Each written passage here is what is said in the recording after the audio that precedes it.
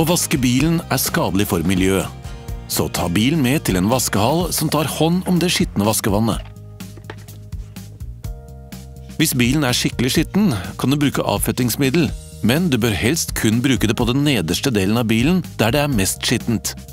Når avfettingen har fått virke en stund, skyller du av bilen. Begynn nederst og jobb deg oppover, for smusset renner lettere vekk på våte flater. Avslutt med å spyle ovenfra og ned, så er du sikker på at alt løssittende smuss er borte.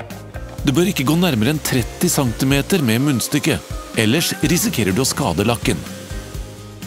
Sprut felgrens på felgene. Vanlig avfettingsmiddel er ikke effektivt mot bremsestøv.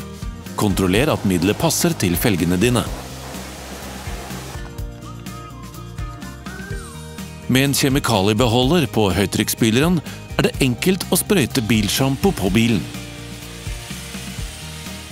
Deretter bytter du til en vaskebørste som du vasker bilen med. Det finnes både roterende og stillestående børstehoder.